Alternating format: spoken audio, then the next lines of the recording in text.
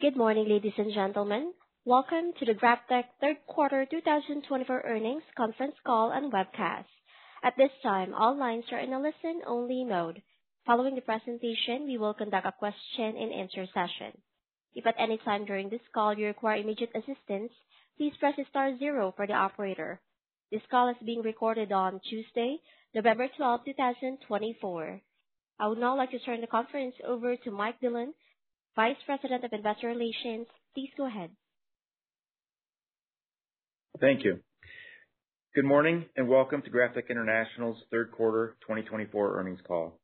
On with me today are Tim Flanagan, Chief Executive Officer, Jeremy Halford, Chief Operating Officer, and Rory O'Donnell, Chief Financial Officer. Tim will begin with opening comments. Jeremy will then discuss safety, the commercial environment, sales, and operational matters. Rory will review our quarterly results and other financial details, and Tim will close with comments on our outlook. We will then open the call to questions. Turning to our next slide. As a reminder, some of the matters discussed on this call may include forward-looking statements regarding, among other things, performance, trends, and strategies. These statements are based on current expectations and are subject to risks and uncertainties. Factors that could cause actual results to differ materially from those indicated by forward-looking statements are shown here. We will also discuss certain non-GAAP financial measures, and these slides include relevant non-GAAP reconciliations. You can find these slides in the Investor Relations section of our website at www.graftech.com. A replay of the call will also be available on our website. I'll now turn the call over to Tim. Good morning, and thank you for joining GrafTech's third quarter earnings call. During the call this morning, we'll discuss the results for the quarter, our current outlook for the industry and our business, and importantly, provide an overview of the financing transactions we announced this morning. Before getting into these topics, I'd like to take a moment to introduce our recently appointed CFO, Rory O'Donnell. With over two decades of experience in senior financial positions, including more than a decade serving in leadership roles at companies within the metals and mining space, we are fortunate to have Rory as part of our team, and I look forward to working alongside him. Let me turn the call over to Rory to make a few comments. Thank you, Tim, and good morning, everyone. It's a pleasure to join you this morning to report our third quarter results. Since I joined in early September, I've spent much of my time getting to know the GrafTech team, visiting many of our world-class assets, and diving deep into the strategic financing transaction that we're pleased to discuss with you today. For those of you that I have yet to meet, I look forward to connecting and personally thanking you for your interest in GrafTech. I trust we share the same enthusiasm for the future as we take steps to stabilize our position in the market, regain share, and drive value for all of our stakeholders. Also, thank you to the board and management team for welcoming me and for your guidance and support. With that, I'll turn it back to Tim to begin our presentation. In the third quarter, we grew volume, significantly reduced, and generated positive free cash flow. In addition, we're capitalizing on an opportunity to improve our liquidity position via a new financing transaction. Importantly, the announced transaction has been structured in a manner to preserve our strategic flexibility to pursue new growth opportunities. To that end, this flexibility and the clarity around our liquidity on a go-forward basis allows us to more aggressively pursue opportunities to further unlock the value of Seadrift, which is an asset that is critical to GrafTech's long-term growth plans. All of these actions demonstrate our absolute focus on controlling those things we can control. So let me share a little bit more on these topics, starting first on the commercial side. In the third quarter, our sales volume increased 9% year-over-year and grew sequentially for the third consecutive quarter. On a year-to-date basis, our sales volume is up 13% from the prior year. These are impressive results given the current soft demand environment. We've instilled a customer-centric mindset across our organization and are executing a deliberate customer engagement strategy, and we continue to see the positive results as evidenced by our third quarter performance. And we are confident that we will continue to regain our market share and increase our sales volume as we move ahead. Currently, we're engaged in discussions with many of our existing customers as well as new ones regarding their needs for next year. We're encouraged by the dialogue and expect another year of low double-digit sales volume growth in 2025. In addition, we continue to enter into new strategic multi-year electrode sales agreements with certain customers. While a relatively small percentage of our overall order book, these multi-year agreements reflect the confidence our customers have in our products and services and their recognition of our unique position being vertically integrated into needle coke, and we value their long-term partnership. We also continue to invest in our customer value proposition, including expanding our technical capabilities and product offerings. Of note, during the third quarter, initial trials of our new 800-millimeter electrodes were conducted by a key customer in North America, and as anticipated, those electrodes performed in accordance with our very own high standards. While currently a niche market, demand for 800-millimeter electrodes is expected to significantly outpace that of the overall electrode market in the years to come, and we're excited to offer high-quality products to meet this need. Again, we're making steady progress in regaining lost market share that we've noted in the past, and we'll continue to work tirelessly to do so. Ultimately, all of these efforts are about strengthening our customer relationships for the long term to achieve mutual success for years to come. The operations front, our ongoing efforts to aggressively control costs continue to pay off. For the third quarter, we achieved a 28% year-over-year decrease in our cash COGS per metric ton, exceeding our expectations for the quarter. As we continue to overdeliver on our initial expectations for cost reductions, for the second time in 2024, we are increasing our full-year guidance for the improvement in our cash COGS measure.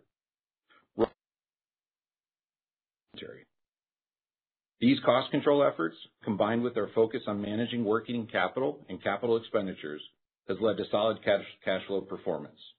This includes 20 million of free cash flow generation in the third quarter.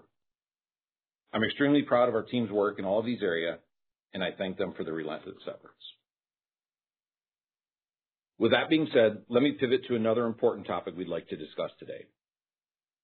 As I stated on our last earnings call, we are regularly in conversations with our financial advisors regarding potential proactive measures to enhance our capital structure. And as I indicated at the time, we view it prudent to have such ongoing dialogue regardless of where we stand in the cycle.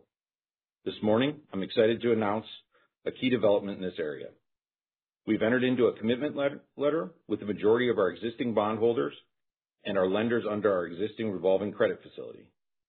This commitment letter covers transactions that will provide GrafTech with both new capital at attractive rates and also an extension of the maturities of our existing debt and revolving credit facility. Rory will cover the details of the transactions during his comments, including further color on the benefits to our liquidity position and our debt maturity profile. But let me share a few thoughts on the importance of this announcement. We view this transaction as a critical, critical step towards strengthening our financial foundation and achieving the company's objective of delivering long-term growth and shareholder value. As I'll discuss later in our prepared remarks, GrafTech is well-positioned to capitalize on the long-term tailwinds that exist for our business and our industry. However, as you know, we are currently in the down part of the cycle. This transaction provides the additional liquidity and operational flexibility to manage through the near-term industry-wide challenges. This includes supporting our ability to responsibly invest in working capital in order to capitalize on the growth opportunities as the industry recovers and demand increases. Just as the strategic flexibility to deliver on the company's long-term potential, both to grow our existing electrode business and to pursue new growth opportunities. Lastly, it affords all of those at GrafTech the ability to refocus our energy on what we're passionate about, which is delivering on the needs for our customers and growing our business to the benefit of our stakeholders. To that end, let me provide a clear message directly to our customers, our employees, our investors, and all of our stakeholders. We are absolutely in this business for the long term and have and will continue to take the steps necessary to remain there. We are excited about the path ahead and remain confident about the future of GrafTech. We appreciate the strong support of our lenders, and I'd like to thank them for their engagement in this process. Ultimately, this highlights their confidence in GrafTech's return to more normalized levels of earnings and cash flow in the medium term and our ability to deliver on the company's potential for the long term. With that, let me now turn it over to Jeremy to provide more color on the current state of the industry and our commercial performance. Thank you, Tim, and good morning, everyone. As always, uh, before I provide an industry update, I'll start with a few comments on safety, which is a core value at GrafTech. Our year-to-date recordable incident rate continues to show improvement over our performance in 2023. Nevertheless, we are not satisfied with this performance and must do better. Sending our employees home safely at the end of every day is the most important thing we can do, and being relentlessly focused on this objective will remain a key priority for our teams as we end this year and move forward into next. Let me now turn to the next slide to discuss the commercial environment. As you know, we operate in a cyclical industry and currently find ourselves in a challenging part of the cycle. The global steel industry remains constrained by economic uncertainty and geopolitical conflict. On a global basis, steel production outside of China was approximately 202 million tons in the third quarter of 2024, representing a 2% decline from the prior year. The global steel capacity utilization rate outside of China declined to 65% in the third quarter, the lowest rate in seven quarters. Looking at some of our key commercial regions, for North America, steel production was down 5% in the third quarter on a year-over-year basis, continuing the recent trend of modest declines in what has been an otherwise relatively stable steel region. Conversely, steel output in the EU increased 3% for the second consecutive quarter, although it remains well below historical production and utilization rates for that region. The current dynamics within persistent challenges in the commercial environment for graphite electrodes. Specifically, industry-wide demand for graphite electrodes has remained weak, and the graphite electrode industry continues to suffer from low capacity utilization. Reflecting these changes, the competitive dynamics we have spoken to on the last several calls have persisted, including an ongoing increase in the level of electrode exports from certain countries, including India and China. This, in turn, continues to result in the weak pricing environment that we have spoken to previously. With that background, let's turn to the next slide for more details on our results. Our production volume in the third quarter of 2024 was 19,000 metric tons, which resulted in a capacity utilization rate of 46%. The decline in our production levels during the third quarter was consistent with our expectations, given the planned maintenance shutdowns at our European facilities during the quarter. Our third quarter sales volume was 26,000 metric tons, which was above our outlook for the quarter. Shipments in the third quarter of 2024 included approximately 23,000 metric tons of non-LTA sales at a weighted average realized price of approximately $4,100 per metric ton, and approximately 3,000 metric tons sold under our LTAs at a weighted average realized price of approximately $7,700 per metric ton. Expanding on our weighted average price for non-LTA sales, this represented a 24% year-over-year decline and a sequential decline from the second quarter of approximately 5%. Net sales in the third quarter decreased 18% compared to the third quarter of 2023, driven by the lower pricing, along with the ongoing shift in the mix of our business from LTA to non-LTA volume. As we move through the fourth quarter, we expect our sales volume for the quarter will be broadly in line with the sales volume for the third quarter. As a result, we are well on our way to achieving our 2024 outlook of the year for full-year sales volume growth. Looking ahead, we expect the global steel market and therefore industry-wide demand for graphite electrodes will recover, albeit more slowly than initially anticipated. In addition, as the shift to electric arc furnace steelmaking continues, these factors will lead to an improved commercial environment for the graphite electrode industry. Tim will expand on these concepts in a few moments. As it relates to 2025, with some measure of demand recovery, combined with our efforts to regain share driven by our uh, customer engagement strategy and our compelling customer value proposition, we are confident in delivering another year of sales volume growth in 2025. Let me now turn it over to Rory for the rest of our financial details. Thank you, Jeremy. For the third quarter of 2024, we had a net loss of $36 million, or $0.14 per share. Adjusted EBITDA was negative $6 million for the third quarter, compared to adjusted EBITDA of 1 million in the third quarter of 2023.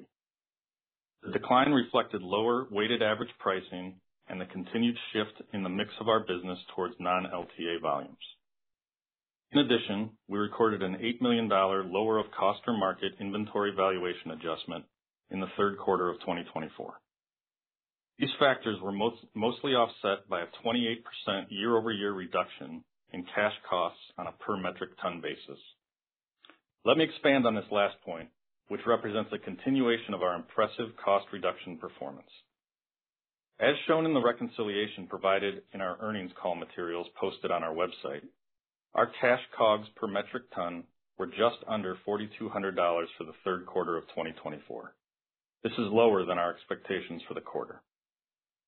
Along with the benefit of favorable freight costs and other factors, the lower costs reflect the continued strong performance of our teams in identifying and executing against cost reduction opportunities without compromising our ability to meet our customers' needs or our product quality. Reflecting the over-delivery on our cost reduction activities, we have updated our full-year COGS per metric ton guidance for 2024. We now anticipate approximately 20% year-over-year decline on a full-year basis, which would result in cash COGS per metric ton of approximately $4,400 for 2024. This compares to our previous expectation of $4,600-$4,800 per metric ton for 2024. In addition, we anticipate that our cash COGS per metric ton will decline further as we move into 2025. Turning to cash flow. For the third quarter of 2024, cash provided by operating activities was 24 million. Adjusted free cash flow was $20 million. Overall, we are pleased with this level of cash flow performance in the quarter. While third quarter CapEx spending declined sequentially from the second quarter, we will continue to invest in our business and expect to complete the year in line with our full-year CapEx guidance of $35-$40 million. As it relates to working capital, we had another favorable quarter, with a decline in inventory levels reflecting the planned seasonal production shutdowns, which Jeremy spoke to, as well as ongoing execution of our working capital initiatives. We remain focused on reducing our overall inventory levels in 2024 as part of these initiatives, and we now expect the net impact of working capital will be favorable to our overall to our full-year cash flow performance versus our previous expectation of a neutral impact. We ended the third quarter with total liquidity of approximately $254 million, consisting of 141 million of cash and 112 million available under our revolving credit facility. On the topic of liquidity, let me provide some details on the transactions for new capital that we announced this morning. As Tim indicated, the transactions described in the commitment on attractive terms and extend our existing debt maturities. More specifically, the ad hoc group of existing bondholders are providing new financing to GrafTech in the form of a $275 million delayed draw term loan that will be senior to our existing debt. Of the $275 million term loan, 175 million will be drawn at transaction closing, which is expected to occur in the fourth quarter of this year. The remaining 100 million will be available to be drawn for a period of 19 months following the transaction closing. The new term loan will bear interest at SOFR plus 600 basis points on any portion that is drawn, with any undrawn portion subject to a lower cost until drawn. The term loan will mature in December of 2029. Regarding our existing $950 million of senior notes due in December of 2028, an exchange offer will be launched shortly, whereby existing bonds can be exchanged at par and at existing interest rates for new bonds, with a one-year extension of the maturity to December of 2029. Based on the level of commitments to participate in the exchange offer, which have been received to date from the bondholders, we anticipate nearly all of our existing bonds will be exchanged and subject to the maturity extension. Lastly, our $330 million revolving credit facility, scheduled to mature in May of 2027, will be replaced with a new $225 million revolving credit facility that will mature in November of 2028. While the overall capacity of the revolver will be reduced in the new capital structure, more importantly, the amount that is available to GrafTech after giving effect to the springing financial covenant will not change. In other words, our recent financial performance currently limits our availability under the $330 million revolver to approximately $115 million, less the currently outstanding $3 million of letters of credit. With the new revolver in the same scenario, we will continue to have $115 million of revolver availability, less the letters of credit. With that background, let me turn to the next slide to further demonstrate the benefit that the announced financing agreements will provide to our liquidity position and our debt maturity profile. As I mentioned earlier, we ended the third quarter with total liquidity of approximately $254 million.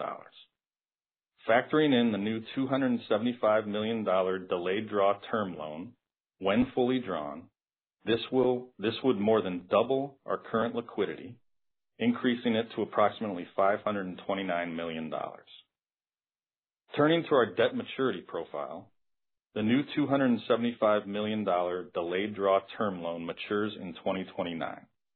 As it relates to the existing $950 million notes, the exchange offering provides a one-year extension versus the current maturity date. Therefore, assuming full participation in the upcoming exchange offer, we will have no outstanding debt maturities until December of 2029. Further, as I indicated previously, the revolver originally maturing in May of 2027 has been extended 18 months to November of 2028. Overall, we are proud to have reached this outcome with our partners and appreciate their confidence in our ability to guide the company through the current down cycle and to restore the company to profitable growth. Let me turn the call back to Tim for some final comments on our outlook. Thanks, Rory. Let me summarize. GrafTech continues to deliver on our outlook and its initiatives as we continue to focus on controlling the controllable. We're proud of our team's execution, and supported by our announced financing transaction, we remain confident in our ability to manage through the near-term environment. As we look ahead, our long-term optimism about our industry remains intact. While we remain cautious on near-term steel industry trends, we have consistently noted that cyclical downturns eventually come to an end. In addition, we continue to believe that our industry has many long-term and sustainable tailwinds. Combined with our unique position and competitive advantages, we remain confident we are well-positioned to capitalize. For these reasons, we believe the long-term growth opportunities in front of us are very real. Let me provide some more color on these concepts. In October, the World Steel Association published their most recent short-term outlook for global steel demand. On a positive note, World Steel is projecting 3% growth for steel demand outside of China in 2025. This includes projected growth in nearly all of our key regions, including the EU, the Americas, the Middle East, and in Africa. And although the global steel market is rebounding more slowly than many initially expected, we find the projected growth to be encouraging. During this time, we have shown incredible cost and spending discipline, but we cannot cut our way to growth and improve financial performance. Ultimately, the improved steel demand, as well as the impact of announced supply reductions, announced price increases, and the like, need to translate into a healthier pricing environment. A healthy steel industry needs a healthy graphite electrode industry. And the current pricing levels we are seeing in many of our regions are not sustainable and do not promote the long-term health of our industry. We spoke about this on our last call, and we are encouraged that we are now seeing this recognized by others. Pivoting to the longer term, we continue to expect decarbonization efforts to drive a transition in the approach to steelmaking, with electric arc furnaces continuing to increase share of total steel production. Based on the latest production statistics published by the World Steel Association, the EAF method of steelmaking accounted for 50% of global steel production outside of China in 2023, an increase from 44% in 2015. with market share growth in nearly every region. This trend of EAF share growth is expected to continue. As we've noted previously, we're tracking approximately 200 announced projects from steel manufacturers regarding plans for new EAF facilities or expansions of existing facilities. Outside of China, these projects are expected to result in over 170 million metric tons per year of new EAF steel production capacity coming online by the end of this decade, with much of this growth concentrated in our key commercial regions. This, in turn, is expected to drive incremental demand for graphite electrodes.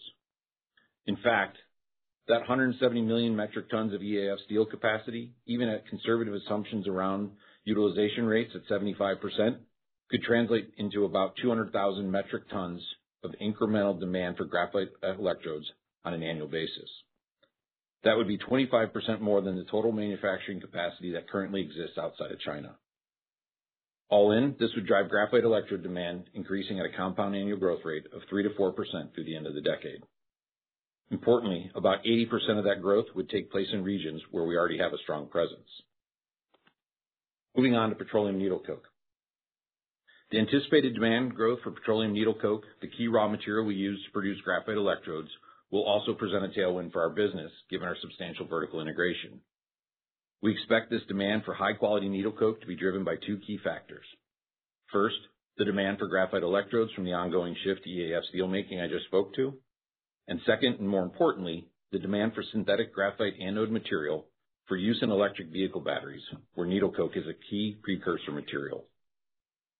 Growing demand for needle coke should result in elevated needle coke pricing. Given the high historical correlation between petroleum needle coke pricing and graphite electrode pricing, this trend should translate to higher market pricing for graphite electrodes. This again reinforces the key competitive advantage that our substantial vertical integration into needle coke affords us as it relates to our graphite electrode business. Both within and beyond graphite electrodes, we continue to focus on ways to maximize the value of our unique assets and capabilities. This includes pursuing partnership opportunities to expand the production capacity of Seadrift.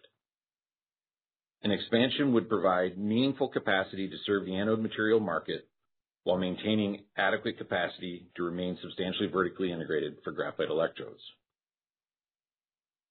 As it further relates to participating in the growing in the growth of the anode material market, we are also making investments within our R&D function, including pilot scale assets in our technical center to advance our technical capabilities. This remains a dynamic and exciting opportunity with our assets and expertise positioning us well to be a key player in this space. In closing, to manage through the challenging near-term industry dynamics, we set out a plan and we're executing against it.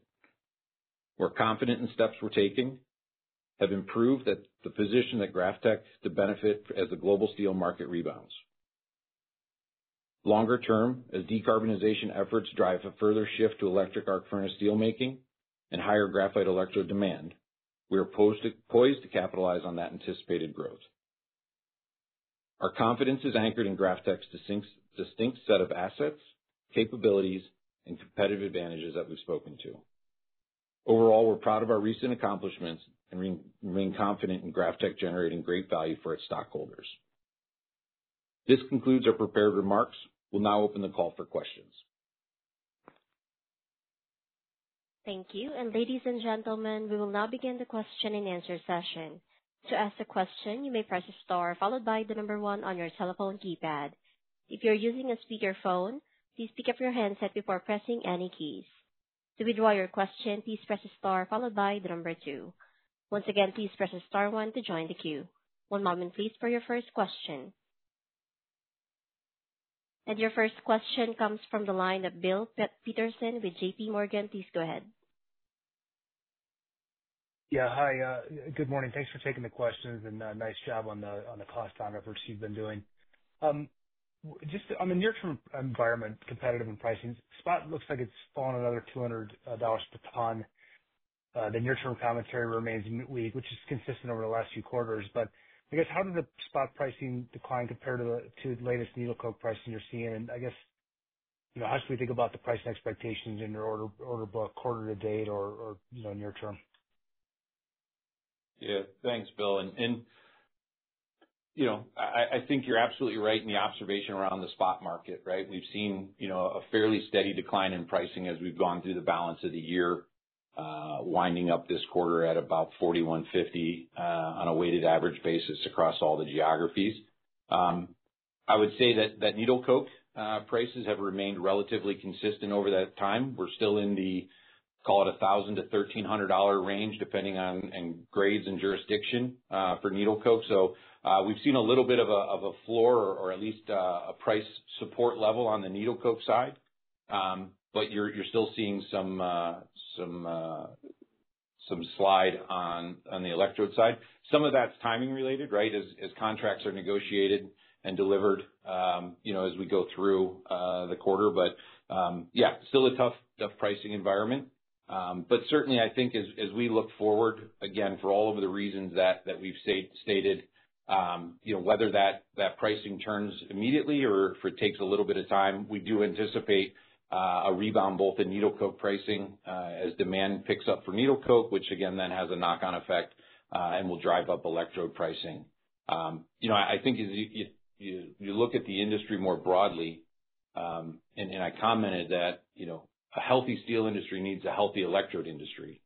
Um pricing in many of the jurisdictions we're seeing right now, I would not describe as healthy or sustainable um for any of the key players in this market. So Um, at some point in time, either uh, companies will continue to take action, uh, whether that's announced supply reductions, which we've talked about our announcement back in Q1. We talked about other announcements in Q2, or you'll you'll see uh, pricing actions, which again, we've seen some pricing announcement here by competitors in the market more recently. Um, so those actions will have to take place to balance out the market um, because otherwise you won't have a healthy market to underpin all of the demand growth for steel going forward. Okay. Uh, thanks for that. And again, on the cost side, uh, you know, better than expected, um, which we would have thought with maybe the sales environment may may not have seen as much fixed cost absorption. So I guess how should we think about the potential for cost downs and maybe underlying assumptions around your your growth expectations for next year? How should we think about that progressing over the next several quarters? Yeah. So let me start, and then I'll turn it over to Rory to comment uh, a little bit more on the cost side. But I mean, this is a really tremendous effort uh, by our teams, right? This is the self-help that we can do for our business. Um, and there's been a tremendous amount of energy uh, on the cost side to to work this down. Um, we are benefiting from increasing volume, which is helping on a fixed cost basis, but the operations team more broadly has done a really good job of being laser-focused on cost control um, and uh, expect that to continue. So I'll turn it over to Rory, and he can provide some more details. Yeah. So thanks, Bill. Just just a reminder on our on our cost breakdown. Essentially, our our production cost is about 25% fixed, the largest component of that fixed cost being labor costs. Uh, the remainder is uh, probably evenly split between needle coke costs and other variable costs such as energy, freight costs, and the like. We have made tremendous progress in not only controlling the variable costs through different procurement strategies, uh, different uh, process engineering improvements that we've made, uh, but we've also um, kind of we've diversified our supplier base. So we've brought down some of the price of some of our raw materials through qualification of additional vendors and the like. So we've created a little bit of a of a pricing battle between some of our some of our vendors, and it's really starting to show benefits. So that's for 2024. Uh, as you know, in 2024, we also took out a lot of fixed costs with the curtailment of St. Marys. Um, we also took some overhead cost reduction initiatives uh, in the first quarter of the year. So moving into 2025, we're going to see the wraparound effect of all the things I've just mentioned. Those things, coupled with uh, an outlook of increased volumes and fixed cost leverage, is really what we're looking at as the key sources of bringing down, continuing to bring down that cash cost per ton into the future. Yeah. Thanks for that, uh, Rory. If I could sneak one more in. Um, the battery comment, it's interesting. It sounds like you're looking to invest more in here. Um, just wondering here, how does the change in government, uh, how does that change your view of, let's say, a government that likes to balance and have local production and local manufacturing versus maybe a potential likelihood that some of the domestic content kickers may be going away? I guess, do you see any change in you know, your customers' behavior or wanting to work with you, or is it actually consistent and looking to move uh, move ahead? Yeah. I don't think, well, I would say it's too early to, and I'm not going to speculate on you know, what uh, outcomes of elections are otherwise going to drive or how that's going to change the landscape. Um, but I think there still remains uh, strong interest in the needle coke that Seadrift provides uh, and what the work that uh, me and the team have been doing uh, from a development perspective, demonstrating abilities on the needle coke front and how that can be a suitable precursor for anode materials. So we still feel very optimistic about our ability to leverage Seadrift as an asset and, again, diversify our overall business and expand that operation and really, again, have material to put into the anode market as an end market, but then also um, you know, continue to solidify our position of being vertically integrated because I think that's a huge asset for us as we think about our business longer term. Maybe I would just add something to what you're saying, Tim. Uh you know, Bill, we're only three years since automakers had to curtail production because of a lack of a domestic supply chain. And I think that as we see the uh, vehicle fleet uh, evolving to um, uh, to an electric vehicle over time, they're going to want to have that domestic supply chain established. And so regardless of regardless of which politician happens to be in office, I think it's just good business practice to have that domestic supply chain. Yeah, those comments make sense. Thanks uh, thanks again. And again, nice job on the cost side. Thanks, Bill. And your next question comes from the line of Alex Hacking with Citi. Please go ahead. Yeah, thanks. Good morning. Just to follow up on the pricing question, I guess, how is the tenor of negotiations for first half of next year? I assume that we're in contracting season. And how has the 20% price increase announced by one of your competitors you know, affected that dynamic? Thank you very much. Yeah, thanks, Alex. And appreciate the question. And you're absolutely right. We are in the middle of uh, what we would consider our key negotiation season, certainly uh, for customers on an annualized basis in North America, but more broadly for the you know, Q1 and first half deliveries for next year. Um, You know, certainly, the the 20% price increase, I I'm supportive of. I think it's the right move, you know, given all of my previous commentary about the sustainability of pricing and and where we feel that uh, electrode pricing needs to go uh, to have a healthy industry. Um, because right now, I I you know I I don't think that we think that is healthy across the board. You know, the ultimate level of realization of that 20% is going to depend on on a couple things. One, the regions that you're talking about, but then two, it's it's what your starting point is. And I don't think everybody's starting from the exact same level. So um, you know, we we think it helps, um, but ultimately, you know, I, we're not just taking pricing, multiplying it by 20% and moving forward. So um, we'll be strategic about it as as we approach our customers. Um, but uh, overall, encouraged about the the dialogue and the discussions we're having uh, both in the Americas, in Europe, uh, and more broadly as well. You probably don't want to say much more than that you know, from uh, an overall contracting perspective as those are active uh, and ongoing dialogues, but certainly can give a broader update and a more fulsome update uh, on our Q4 call in February. Yeah, thanks for the color. And I do appreciate that it's ongoing. Um, and I guess follow-up question on the HEG investment. Have you had any dialogue with them, or is, is this just a completely hands-off investment? Thanks. Yeah, no, thanks for that. Appreciate it. Um, you know, and maybe just for a bit of background, so HEG um, you know, began acquiring a position earlier in this year. Um, they disclosed that position in their annual report in March. They did inform us that uh, before that public disclosure came out that they had begun acquiring uh, shares in the in the company. And so I think they sit today at just over 8%, uh, and that's based on their 13G filing. So again, an indication of a passive ownership perspective and consistent with um, you know, their public commentary. But I mean, I think more importantly, uh it's a good uh underwriting of our business within one of your competitors not only comments on the strength of your asset and the unique position of the vertical integration that we have, uh, but they're putting the dollars behind it as well. So, um we appreciate that endorsement and uh and yeah. We'll see how that plays out going forward. Okay. Thanks, Tim and team. Best of luck. Yep. Thank you. Your next question comes from the line of Arun Viswanathan with RBC Capital Markets. Please go ahead. Great. Thanks for taking my question. Um, I wanted to ask a little bit about uh, production and sales. So it looks like in Q3, you really ratcheted back your production volumes down to that 19.4 um, um, thousand metric tons, but you were still able to sell 26.4 thousand uh, tons in the quarter. So looks like you sold through some inventory. Um, would you say that uh, you know, out of some of the and you ratcheted back the rates in some of your European facilities. Is that strategy complete? Uh, would you say that you've you've put your inventories in good positions?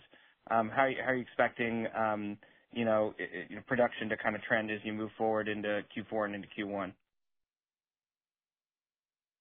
Yeah. Uh, uh, we did exactly what we had planned to do. As we as we set our annual plan at the beginning of the year, we knew that we were going to take uh, take some downtime in Europe for kind of a combination of factors. One, to take the time to properly maintain our equipment. Secondly, to manage our costs. And you know, and thirdly, to uh to manage our inventory down to the targeted levels. So uh you know I think the team uh executed exactly what I was hoping they would do. And uh and we're quite happy with where we're at as we go forward. Uh you know, we should expect that uh production and inventory, pardon me, production and sales will largely march in line from here through the rest of the year. And then as we get into next year, you know, um, as we build out that uh that operating plan, we'll do what it takes to achieve kind of the greatest return on assets. Yeah. Arun, I'll just add to Jeremy's comments. You know, think about working capital to be fairly neutral in the fourth quarter. Um, you know, a fair amount of alignment, again, between production and sales. Um, you know, going back to kind of the increased liquidity, that gives us the ability and the flexibility to to rebuild some of the inventory uh, as we go through 2025 uh, in line with our expectations for growth, not only in 2025, but certainly beyond that as well. So um, in the near term, fairly balanced. There isn't much more to take out uh, on the inventory front other than continuing to drive down costs and lower our unit costs sitting on the balance sheet. Great. And then um, just uh, further on your expectations, um, you know, the global steel utilization rate was the lowest in Q3, um, according to your slide six, versus some other recent periods. So how do you see that trending, I guess? And maybe if it's helpful, you could give us some commentary by end market. I know auto, Uh, we are expecting you know, maybe flat to slightly down auto global production next year. Um, what's your expectations on how uh, volumes and production could evolve maybe into 2025? Um, maybe you could help us out with that as well. Yeah. So maybe I'll start with, and we do expect an increase in our sales volume heading into next year. Uh, we're guiding to low double-digit growth off of what we otherwise expect for this year. Um so we do think that uh, you know, ultimately uh we'll see greater demand for our products. Some of that is regaining market share. Some of that's increased demand. Um if we talk about regions in particular, um Europe is still very much a hand-to-mouth market uh where buying is being done on very limited basis, limited basis and inventory levels are relatively low. Um I think the U.S., maybe there was a bit of a slowdown in steel production in the third quarter. Um, and I think some of that is a combination of just election uncertainty and just taking a pause and a breather. But we don't really see a significant change in the landscape in the U.S. as we look out, right? Still expecting some uh, you know, small, low single-digit growth as we head into next year from an overall demand perspective um in the U.S. You know, I don't think the the outlook on particular industries um you know, has materially changed. You know, probably the the one thing that, that is still uh waiting or seeing how it manifests itself is all the stimulus in China what that does to their property sector, their domestic steel production, and how that otherwise uh impacts pricing and utilizations going forward. But um you know, overall, um, you know, I would say that nothing's changed from our outlook uh significantly, Um, and uh, do expect to start to see a little bit of recovery as we head into next year from an underlying demand perspective. Okay. And just to clarify, um, did you say that you do expect low double-digit growth uh, for next year? Is that volumes, or is that um, EBITDA, or how should we think about that? Our our sales Yeah. Our sales volume, we expect low double-digit growth next year in sales volume. Okay. And part of that is Um, maybe some of this ratcheting back in um, in different periods this year, or what's driving that um, that year-on-year increase? So I mean, I think it's a couple things. One, we do expect the market to start to begin to recover. Um, you know, that will be a portion of it. Secondly, I mentioned the development of the 800-millimeter electrode. This is a market that we have not been a participant in in the past. We have uh, a product that works as we expected. Um, so we anticipate volume in the 800-millimeter market uh, next year, as well as um you know, our efforts on the commercial front to reengage uh, on a more holistic level with our customers and regain the market share we lost when Monterrey was shut down. Um, and we're seeing that. Um, we continue to see quarter-over-quarter increases in our sales volume while others are announcing decreases in volume year-over-year. Um, so we're pleased with the effort. It is just, it is a it is a slow, methodical march uh, in regaining that uh that uh that volume. Uh, but we think best best that we can tell, we anticipate that it'll be low double digits as we head into next year. Okay. That's helpful. And then um, from a profitability standpoint then, so um, I guess the hope is that you will uh, turn the corner back onto profitability. Um, do you expect that, I guess, as soon as Q4? And um, how sustainable is that? Is that um, mainly driven by your own actions uh, on the cost side, eh, or is would it be dependent on volumes continuing to improve? And then uh, on that point, is there any is there any um cost per ton metrics we should keep in mind when thinking about uh, our initial 2025 framework? Yeah. So uh a lot there. Um, you know, I don't think we're sitting here just hoping things get better. We are certainly and definitively taking action to ensure that, A, we're as cost-competitive as we can be as we go forward. Um, you know, we've we've guided to now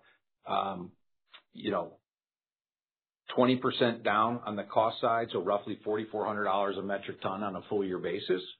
We expect that to be better as we head out into 2025, as Rory alluded to. And I think you know, longer term, we expect to continue to be able to drive costs out of the business. And certainly, as volumes uh will continue to increase and we get to more normalized capacity, we'll drive down our fixed cost leverage even further. So we fully anticipate being cost-competitive as we move forward.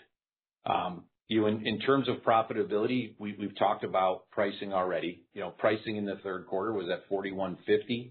Um, the dynamics uh, to change pricing, you're starting to see some of the seeds being sown, if you will, in terms of uh, competitors announcing price increases, capacity coming offline, right?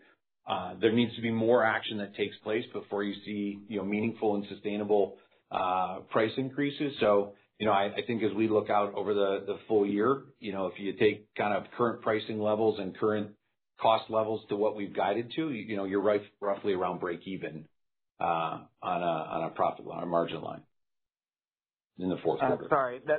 That's great. I really appreciate all those comments. If I could just ask one more, just on the footprint itself, um, you know, if your utilization rates maybe are uh you know, and you are taking this downturn downtime in Europe, are you guys comfortable with with uh, all of the assets within the portfolio right now? Um, you know, are there any actions you can take to um, you know, either change that footprint, or do you need to, um, you know, given that you you do have you know, quite a bit of breathing room now on the liquidity uh, front? Maybe not, but just, uh, maybe I can just wrap up with some of your comments on that front. Thanks.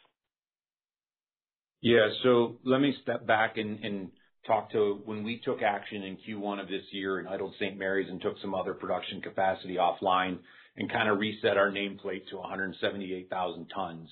We did that with a view of what we uh, believe the market's going to need and require from us on a go-forward basis. So from that standpoint, you know, we feel that the assets we have, uh, the collection of the the uh the operating um, and supply chains we've established between the three facilities that are our primary production facilities is the right mix for us going forward.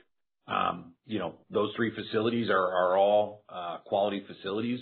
Um, you know, Monterrey, ever since uh, the shutdown, has been operating flawlessly. And now, you know, as as we sit here today, uh, we've kind of got the whole journey of Monterrey behind us and have closed out the conditional um, restart permit that was was issued back in November of 2022. So we're we're very pleased on that. And the European facilities uh continue to run well. And and again, those are world-class facilities. So the footprint's right for today. Where I think that changes is if if outlook in the long term uh somehow changes or, or it doesn't manifest itself in the same way, Um, then you know, we would have to look at our production network and say, "Do we really need 178,000 tons of capacity?" However, shutting down a plant is not a short-term decision or a short-term measure, right, because of the fixed cost um, and the jurisdictions that they operate in. You don't save much money year one. So you have to have a multi-year view that you don't need that supply before you take it off. All that being said, you know, we, like everybody else, are here to make money and create returns for our shareholders. So if that doesn't change and we're not able to do it with the existing footprint, we will take the steps that we need to to return the company to profitability.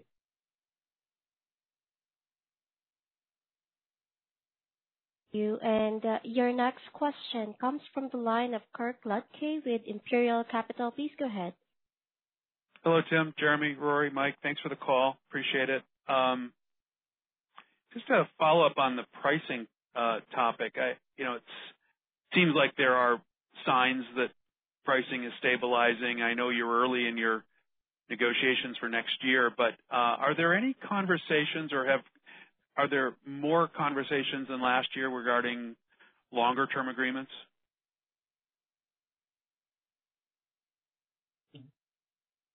Yeah.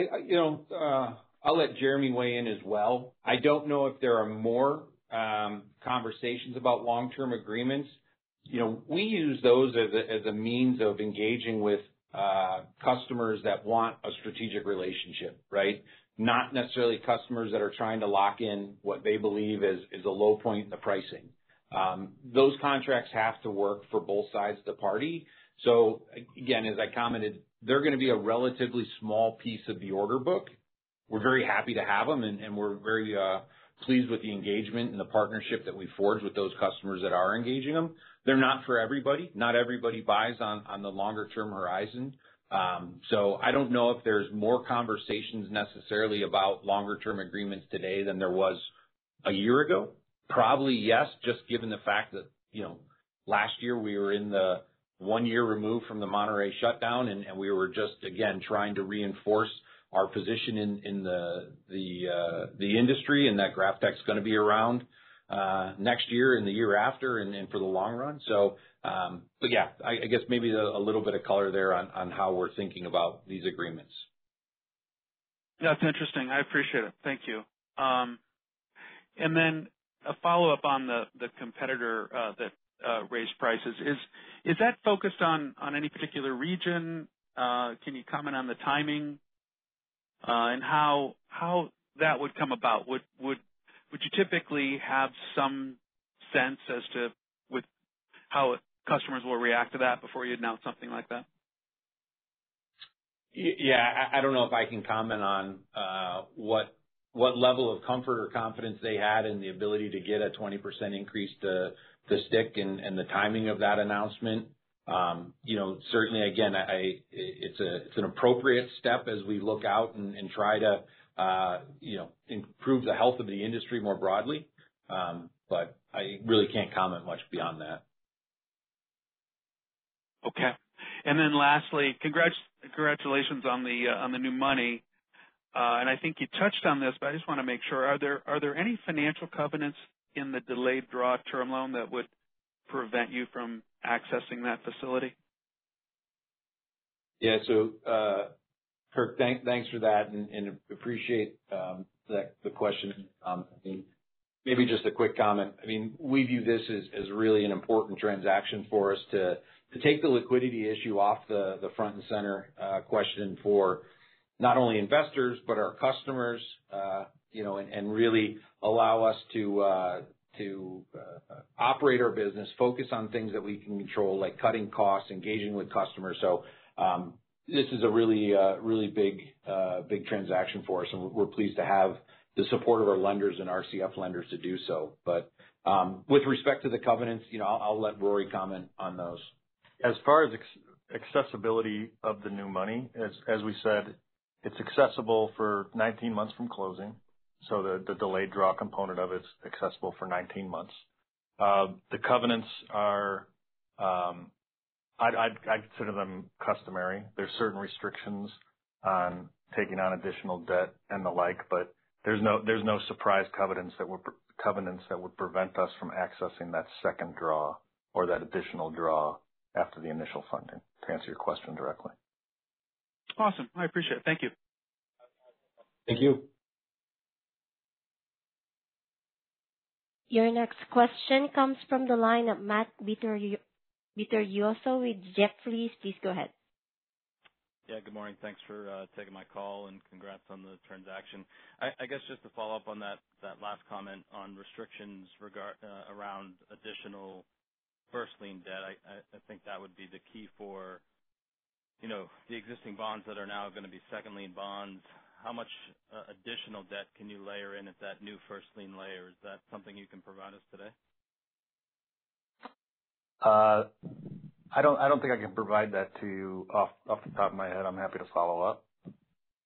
Okay. But there there is a cap on additional first lien debt that. Yes. There yes, there is. And again, that's the first priority debt is now the new money of 275 and the revolving credit facility of $225. So we have those two priority priority instruments, which uh, again, we we can we view the revolver as standby liquidity, if anything. The 275 is the liquidity that we've we've obtained in this in this new money transaction. Yeah. Okay. And then uh, my second question or comment would be, um, you know, obviously great to have the support of your lenders, and I I think this is a, a great transaction to extend runway and give you time to hopefully uh, see better days in the electrode market. I guess the one thing that, you know, some folks were potentially looking for was, uh, you know, your ability to capture some discount. Uh, the existing bonds had obviously traded um, at some pretty low dollar prices. Was that a consideration at any point? And I guess the fact that you didn't push for discount capture, does does that suggest that you guys are ultimately comfortable with this debt load? Like, in your mind, as earnings recover, is this the appropriate debt load for this company, uh, on, say, like a mid-cycle earning? Yeah. Thanks for that, Matt. And and you know, as you know, I mean, there's always levers that are push and pulls in these sort of transactions and negotiations, and it's a balance of what's most important in terms of whether it's the cost of the debt, whether it's the maturity, whether it's discount capture. And so I think, you know, without getting into specifics, you know, we weighed, you know, kind of all of those options and said this was ultimately the best deal that gave us very cost competitive capital, um, you know, for a company like ours. Um, it gave us the maturity extension we wanted, uh, and it also gave us the strategic flexibility to continue to pursue kind of the growth and expansion opportunities that that are important to us. We're very pleased with the deal and the construct that we reached uh in there. You know, with respect to the overall leverage perspective, right? We've talked about this in the past, and I don't think my view on this has changed. We ultimately will need to bring our leverage down, and we'll do that over time. Um but this was an important step, again, to ensure that that, you know, the liquidity question is off the table, the pressures that are associated with the liquidity questions are off the table, and allow us to focus on running the business and move forward. Um, so over time, debt will come down. We will improve the overall uh, leverage. That will that will happen twofold. One, by reducing debt, but also increasing you know, overall EBITDA levels as we go forward. Great. Uh, again, congrats on the transaction. Thanks, guys. Thanks. Appreciate it. And your last question comes from the line of Abe Landa with Bank of America. Please go ahead. Uh, good morning. Also, congratulations on the uh, agreed transaction. Uh, I noticed within your 8-K, you provided some EBITDA and levered free cash flow guidance. I'm wondering if you can maybe provide some of the underlying price, volume, and cash COGS per ton assumptions. Yeah. Thanks, Abe, and appreciate that. Um, you know, so certainly, and you know, customary with transactions like this, we did provide forward-looking outlook um, to support the the underwriting process of both uh, our existing bondholders as well as the revolving credit facility lenders. Um, you know, I will say, and maybe just say this upfront, it doesn't really change our perspective on how we're going to provide guidance and kind of more near-term guidance and outlooks will remain customary to what we've historically done uh in terms of some direction and some short-term indications of where we think the business is heading. But I think if you look more broadly, uh that five-year outlook is really underpinned um in the short term on our views around the market as it exists today, some of the data points that we've talked to around um you know the short-term outlook from World Steel, our engagement with customers, our views on cost in the short run. As we look out further, you know, the longer-term outlook is really underpinned by the growth of the EAF industry, the growth in the demand for needle coke, um, and all of our you know, kind of benefits that we get associated with that as well, both from the electrode business and you know, where we want to head on the EV business. I will add that you know, if you look at our existing footprint of operating assets and the 178,000 tons of capacity, that is the base assumption in that outlook. It's not assuming you know, a broad expansion of any sort of assets um, you know, as as we look out there. So that's really a view on the base business. You know, and longer term, and we've talked a lot about this in the past, um, you know, we think there's strong support for uh both needle coke pricing as, as a key raw material, but then more importantly, electrode pricing uh to return to historical averages. And and that'll be you know, a combination of industry growth as well as uh demand on the needle coke side. So those longer-term averages kind of underwrite you know our expectations into the future, you know, as well as our views around costs that we've talked about. So you know costs in the neighborhood of 4,400 for this year, expect that to come down in 2025, and we'll continue to uh to drive down costs uh and get the benefit of fixed cost leverage as we go forward. Beyond that, you know, I don't want to get into specifics on year-over-year type of movements or changes, but hopefully that gives you a little bit of color and views around you know, kind of the thinking of that, those uh, those outlook items. Yeah, that does uh, provide a nice uh, framework. Maybe one more on the on the debt transaction. Um, it seems like there's some additional subsidiary guarantors with foreign subs. Can you maybe better describe what's new there? Yep. Yeah. So we've included in the collateral package the majority of the assets in our foreign locations as part of the collateral package. There are some that are excluded. We continue to have some non-operating legal entities in foreign jurisdictions that aren't included in the collateral package. Um, but we've included. Um, it's it's a it's a pretty significant increase in the in the assets subject to the collateral package. Um, I think we can say safely that all of the operating assets are included at this time. And lastly, just given the elections, I know Trump has proposed a number of tariffs. Can you maybe just talk about the potential impact of future tariffs, maybe not only in North America, but I know other countries globally have also announced potential tariffs on on steel coming from China uh, and how that would impact the industry in general? Thank you. Yeah. Again, I'm not sure I want to speculate on how an administration plays out. I mean, yes, the U.S. is a very important market to us, and yes, we're headquartered in the U.S., but um, you know, we have operations and customers globally, and you know it's just one of many geopolitical forces that impact our business. I would say the administration, the last go-around, was very you know, pro-steel, pro-domestic steel, and certainly that that helps our U.S. customers and continues to you know, support what is an otherwise healthy industry.